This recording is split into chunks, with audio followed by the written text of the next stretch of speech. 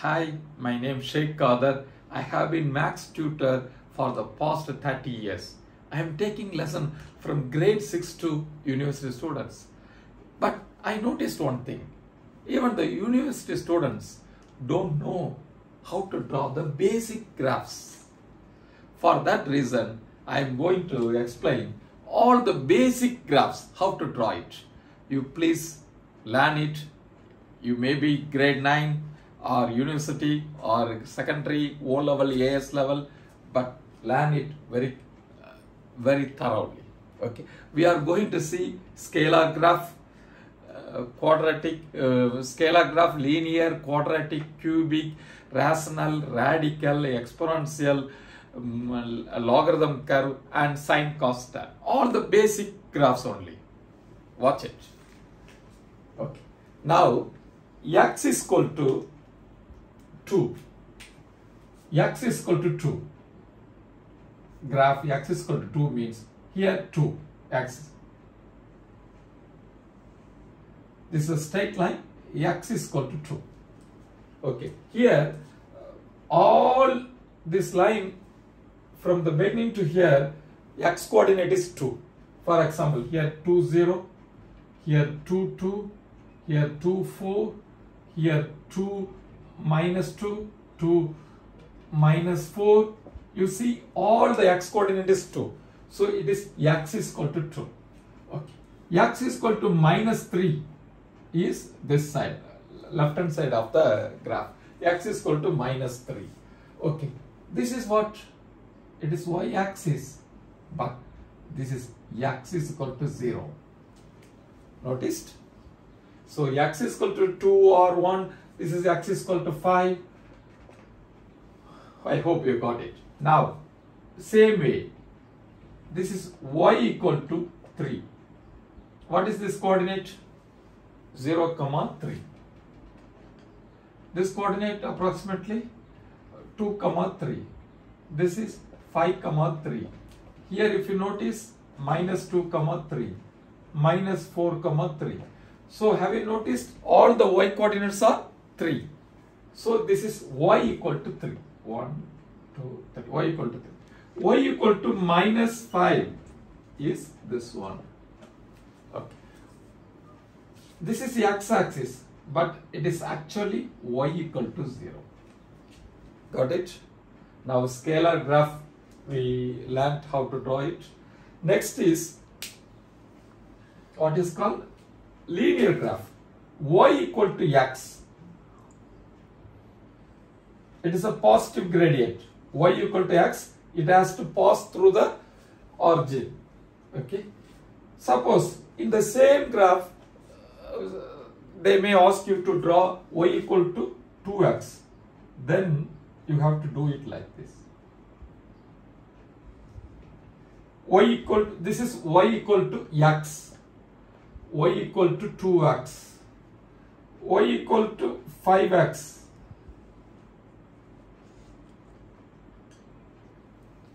you got it. This is y equal to x y equal to 2x y equal to 5x when coefficient of x increases this will move towards the y. Suppose we may get confused. Suppose sometimes they will ask you to draw y equal to half x. You have to draw like this.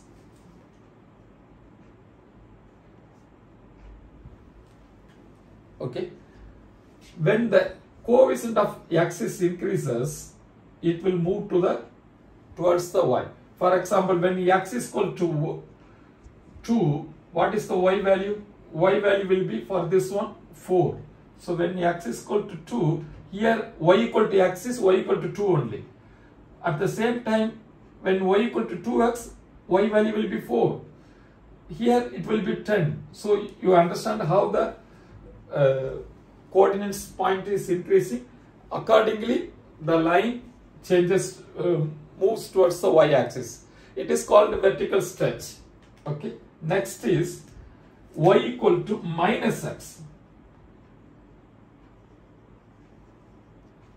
Y equal to minus x. This is nothing but reflect on x axis. Of course it reflect on y axis too. Both are same cases. You got it? This is y equal to minus x. Okay. Next is y equal to x squared. y equal to x squared. This is the graph. It is a quadratic graph. y equal to x squared. y equal to 2x squared. Y equal to this is y equal to 2x square. y equal to half x square, It will come like this.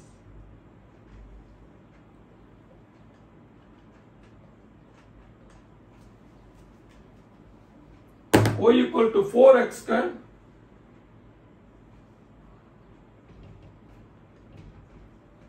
in the same graph some sometimes they ask you to draw you understand how it is coming. Okay. Now y equal to minus x square.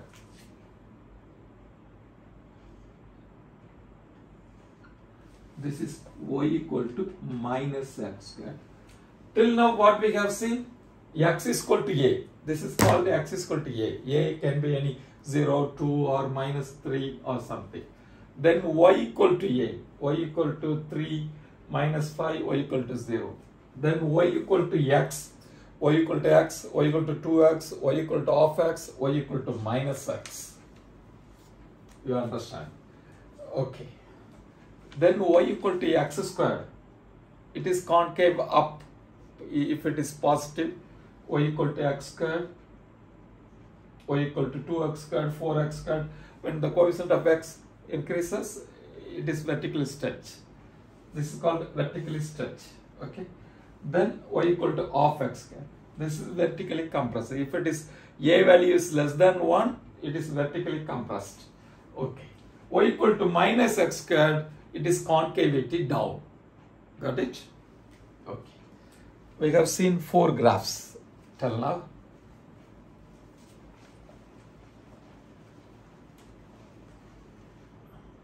Note it down. Sorry i erased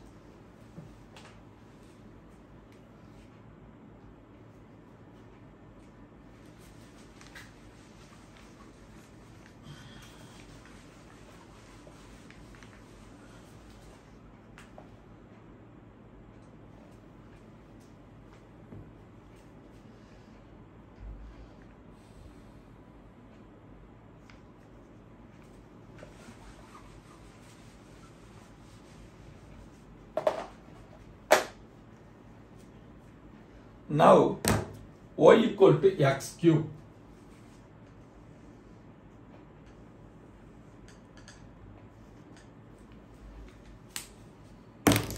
Okay, y equal to x cube, it is cubic graph.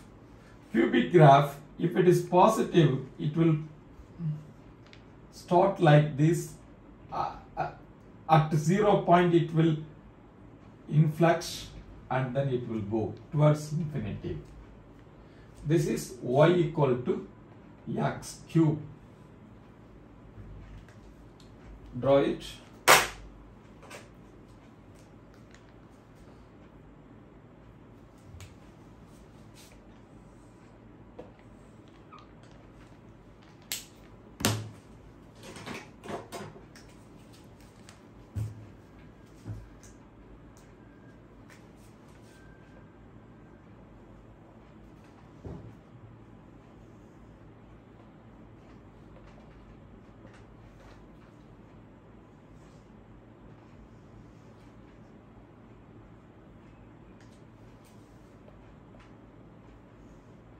Okay. Now y equal to minus x cube. Minus x cube will start from here.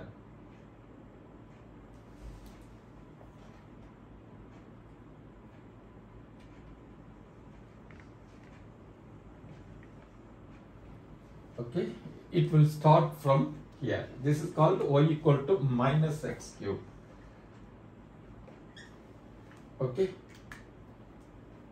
Next is y equal to root x. how to draw? Always root x is square root is positive. So the graph is only like this. The radical graph y equal to root x. Okay. y equal to minus root x will be x.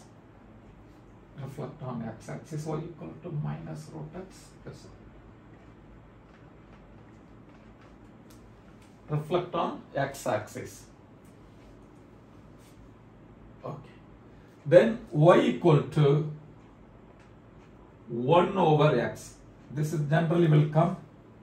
y equal to 1 over x will have two asymptotes X axis and y axis both are asymptote. Okay, this is y equal to 1 over x.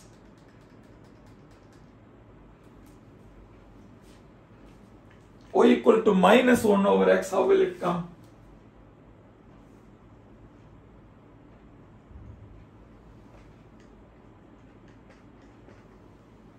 It's a rational graph, y equal to minus 1 over x.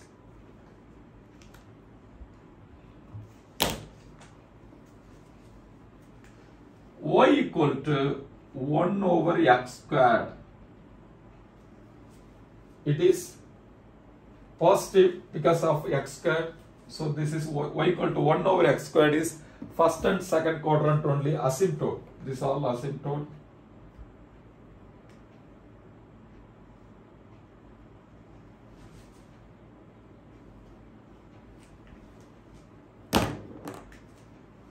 This is y equal to 1 over x squared. Here y equal to 1 over minus x squared. minus 1 over x square. Okay, now y equal to 2 over x will come here. This is y equal to 1 over x.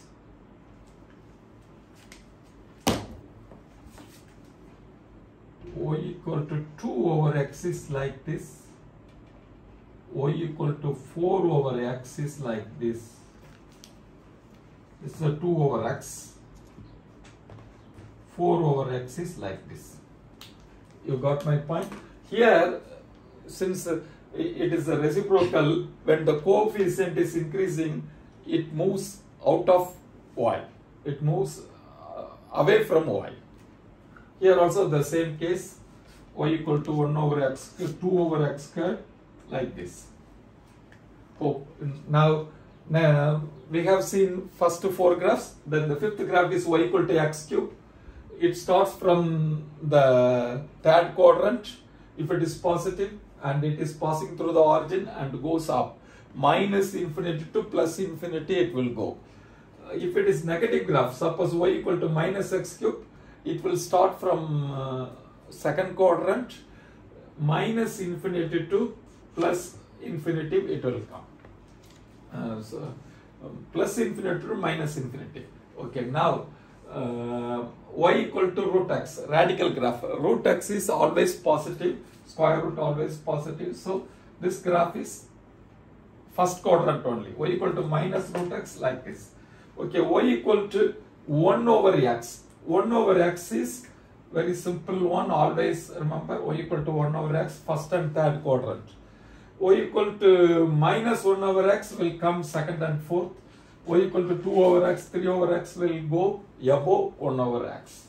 Okay. y equal to 1 over x squared first and second quadrant only uh, like this. 1 over x minus 1 over x squared it will come third and fourth quadrant. Draw it.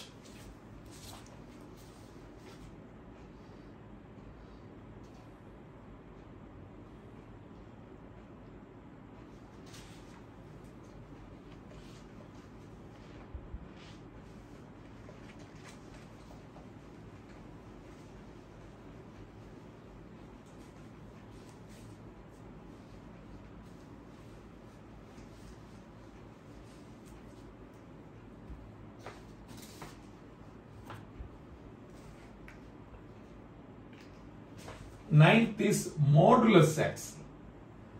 modulus x is like this. This is y equal to modulus x.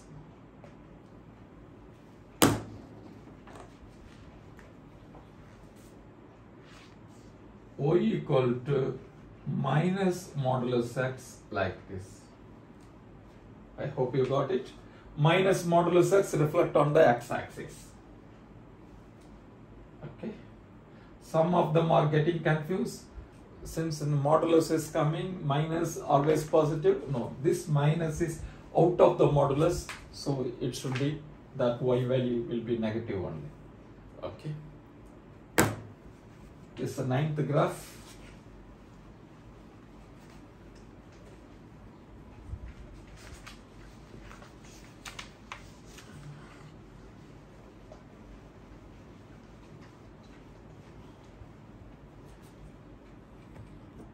Okay, note it down.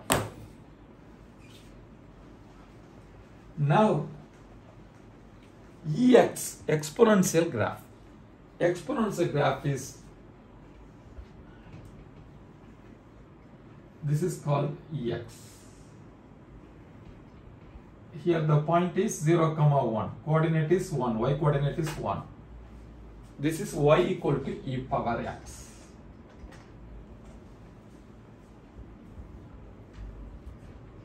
y equal to minus e power x will be like this. Always first minus sign comes, it will be reflect on x axis. Okay, minus f of x reflect on x axis. f of minus x reflect on y axis. Okay, now let us here this will be point will be 0 comma minus 1 now this is actually it is asymptote. You have to start from here.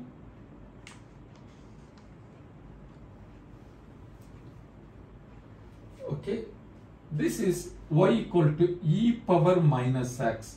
See here minus f of minus x means reflect on y axis we will detailedly see in the next video the transformation graphs how each uh, um, function it, it, it, how it has been transformed. Just here. This is minus e power minus x. I hope you got it. Reflect on x axis reflect on y axis.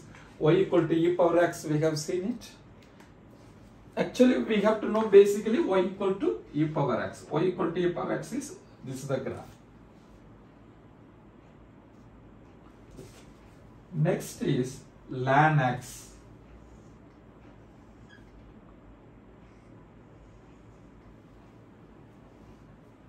E power x and ln x are inverse. You see it? This is the ln x this point is 0 1 comma 0 y equal to minus ln x reflect on x axis. Right? This is the y equal to minus ln x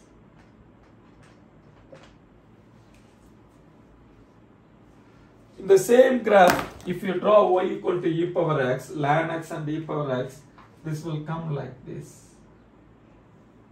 Okay. 0 comma 1. Note it down.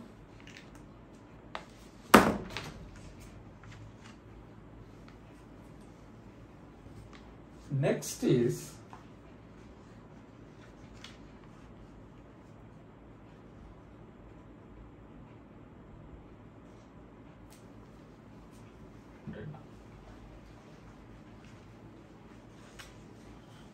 y equal to a power x. a power x means 3 power x or 4 power x, anything.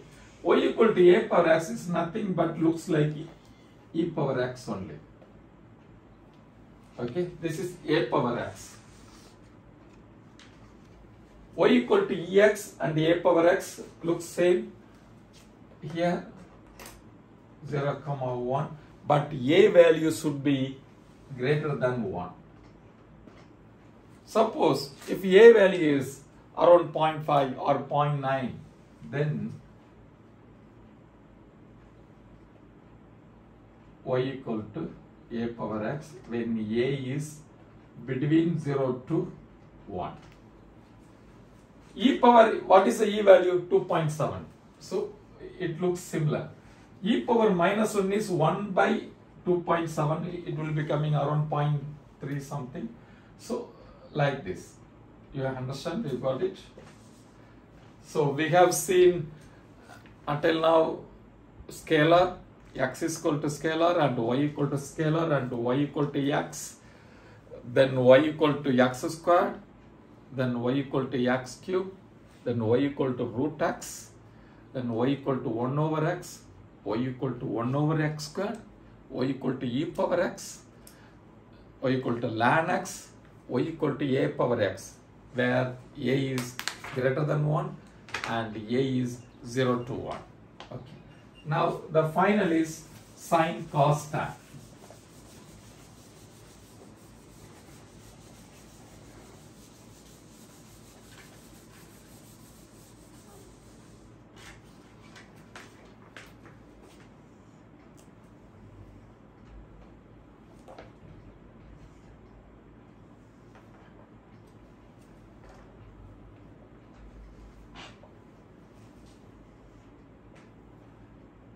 sin x 0 180 360 cos x 0 180 360 1 minus 1 here this will be 1 this will be minus 1 okay this is 90 this is the 270 here this is what is this coordinate? 90 degree comma 1 this is 270 degree comma minus 1 okay.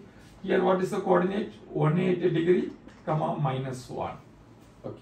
Now the tan x is people generally will feel difficult. 90 degree on asymptote and 270 degree on another asymptote. Just draw one line uh, one graph in first quadrant and second quadrant it is 180 degree then 360 degree. Okay? 0 to 90 in the first quadrant it is positive. 90 to 180 below the y axis negative 180 to 270 it is positive. This is a curve like this. And 360 270 to 360 like this. Okay? I hope uh, all your uh, basic doubts clear. Now see my another video. This will tell about the transformation. How? How it is going to transform. For example there are eight rules. What are the rules? I will give just basic things. F of x plus a x minus a f of x plus a x minus a f of ax a f of x minus f of x f of minus x. Out of this 8 we have seen minus f of x f of minus x we have already seen. And a times f of x is also seen we have to see only these five rules. F of x plus a x minus a. F of x plus a f of x minus a. F of ax this because a into f of x y equal to x squared. F of x is x squared. Okay now we have seen 2x squared also. How the graph will change. That is this 2 is a. So that also we have seen. We will see in the next video these five points. Please share your opinion how much it is beneficial or where you have still doubts. Please please share your opinion in the comment box. This will make you to do more in future videos. Thank you.